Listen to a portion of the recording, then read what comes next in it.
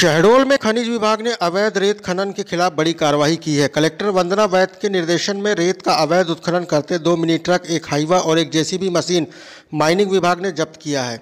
ज़िले के बुढ़ार थाना क्षेत्र अंतर्गत जरवाही सोन नदी के बटली घाट में कार्रवाई हुई है। माइनिंग इंस्पेक्टर प्रभात पट्टा ने पुलिस बल के साथ मिलकर कार्रवाई करते हुए सत्तर लाख से अधिक का मशीन और वाहन बरामद किया है। माइनिंग विभाग ने वाहन मालिकों पर मामला दर्ज कर लिया है। वहीं दो आरोपी चालक मौके से गिरफ़्तार हुए हैं। शहडोल ज़िले में लगातार अवैध रेत खनन के खिलाफ कार्रवाई सामने आ रही है। ज़िले की खनिज टीम ने देर रात बुढ़ार थाना क्षेत्र के जरवाही सोन नदी के बटली घाट में दबिश देकर सत्तर लाख से अधिक के वाहन और मशीन जब्त किया है। उक्त कार्रवाई माइनिंग इंस्पेक्टर प्रभात पट्टा के अगुवाई में हुई है, जिसमें नदी से दो मिनी ट्रक, एक हाईवा और एक जेसीबी मशीन बरामद किया गया है। मामले में वाहन मालिकों के खिलाफ खनिज अधिनियम के तहत अपराध दर्ज कर लिया गया है। वहीं मौके से दो वाहन चालकों को पुलिस ने गिरफ़्तार कर लिया है।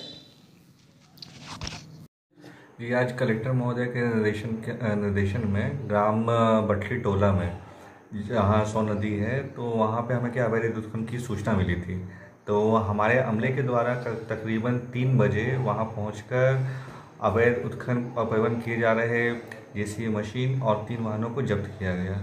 मौके पे पुलिस के अमले को बुला के जो आप, जो वाहन वाहन थे, जिनके चालक भाग गए थे तो उनको यहाँ पे लाया गया फिर। कितने लोग अभी गिरफ़्तार हुए सर इसमें? अभी तो एफआईआर की प्रक्रिया चल रही है और हमारे द्वारा मौके पे तकरीबन तीन लोगों को पकड़ा गया है। इसमें से चालक हैं और हेल्पर हैं।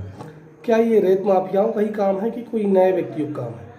आ, अभी तो सर में क्या इन्वेस्टिगेशन चल रही है लेकिन हमारे जो उन्होंने हमें चालकों ने बताया कि इसमें विराट गर्ग और दादू सिंह कहाँ थे? ये बटली घाट तो अवैध घाट है।